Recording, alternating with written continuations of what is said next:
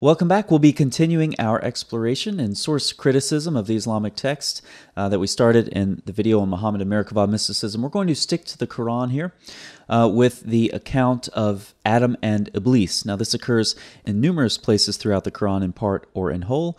Uh, here's a list of the pericopes in the Quran. You can uh, look up each one of those uh, cases and do a comparative study if you would like.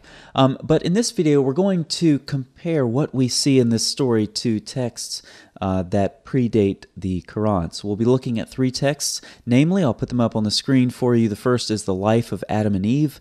Uh, the original composition would be about 100 BC to 200 AD, with later Greek and Latin texts added around the 5th century.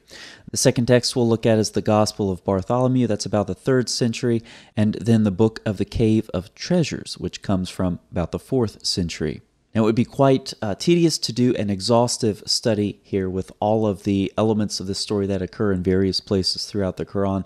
So, we're just going to look at five elements and we're going to see how um, they exist in the Quran and then in the text that uh, predate the Quran. So, let's go through a quick comparative study. The first element um, of the story of Adam and Iblis that we'll look at is the command to bow down to Adam. From Surah 2 and Surah 18, you see the command there. We said to the angels, bow down to Adam, and again in Surah 18. Now, it's not stated explicitly here in the book of the Cave of Treasures, but it's implied because you have the voice of God saying unto him, Adam, behold, I have made thee king, priest, and prophet, and Lord, and head, etc. And so God uh, gives Adam quite an exalted status here, at which point uh, the angels bow the knee.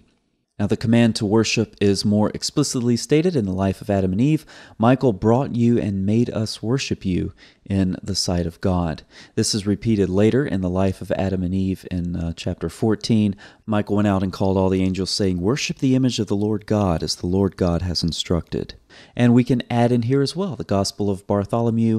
Michael said, Worship thou the image of God. So the common element here of the command, uh, you know, to bow down or to worship Adam exists in the Quran as well as these three earlier texts. The second element that we'll look at is uh, where the angels actually bow down uh, or worship Adam in Surah 15. So the angels prostrated themselves, and in Surah 20, we said to the angels, Prostrate yourselves to Adam. They prostrated themselves.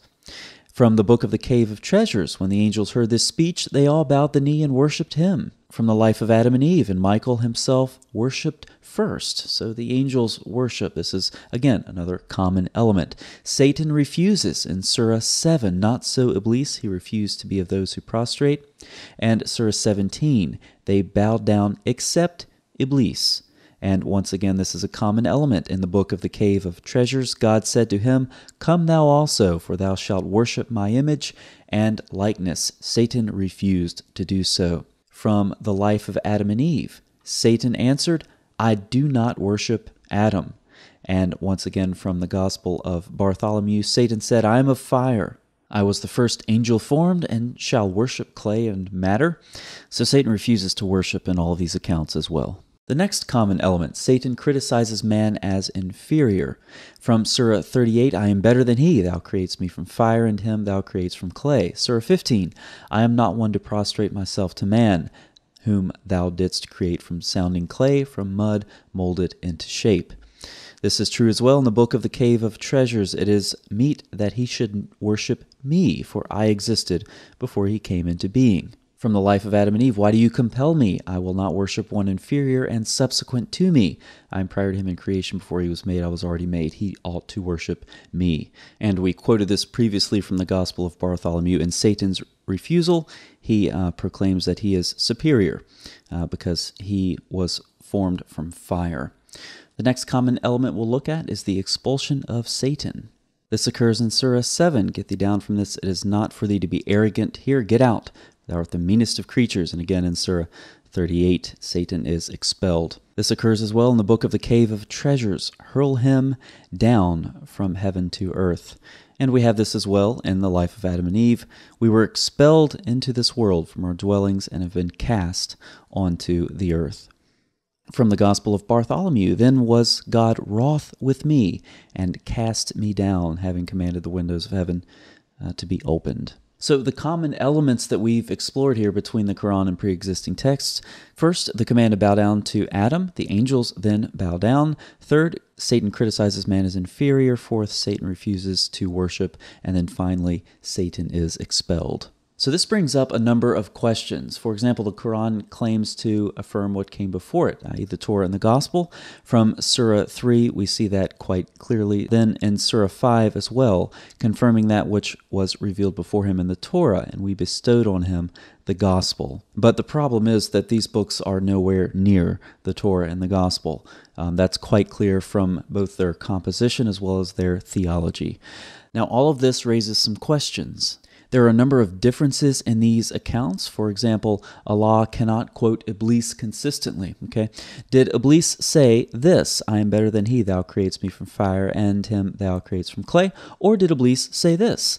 I am not one to prostrate myself to man, whom thou didst create from sounding clay from mud molded into shape. Which one did Iblis say? Why can't Allah quote the characters in the story correctly? Further, why can't Allah quote himself correctly?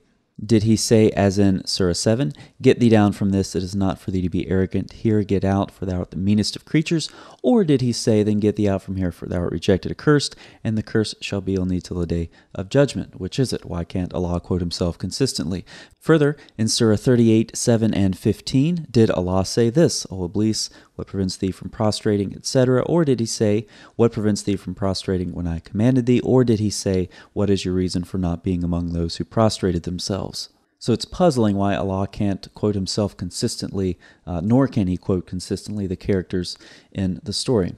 It also raises questions about inspiration. When you open Sahih al Bukhari, Book 1, the Book of Revelation, we see the types of physical and psychological changes that Muhammad allegedly underwent as he was receiving his revelation. Sometimes it's revealed like the ringing of a bell. Uh, on a cold day, sweat dropping from his forehead, according to Aisha.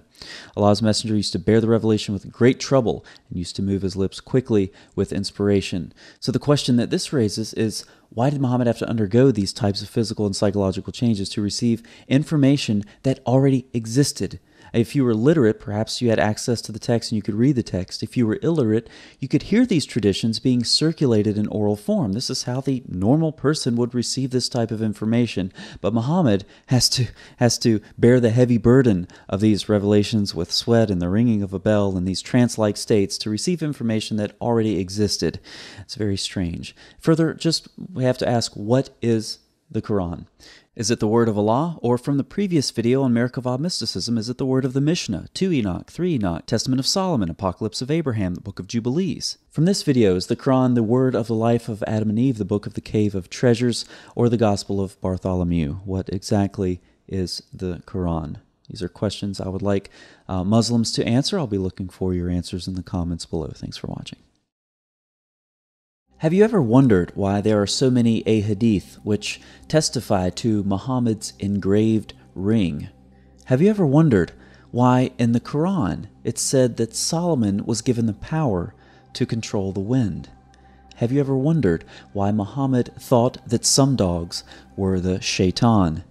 And after you're finished laughing at the story where a rock runs off with Moses' clothes, have you ever wondered what the source for that story is? Have you ever wondered why the story of Adam and Iblis in the Quran sounds so much like pre existing legend?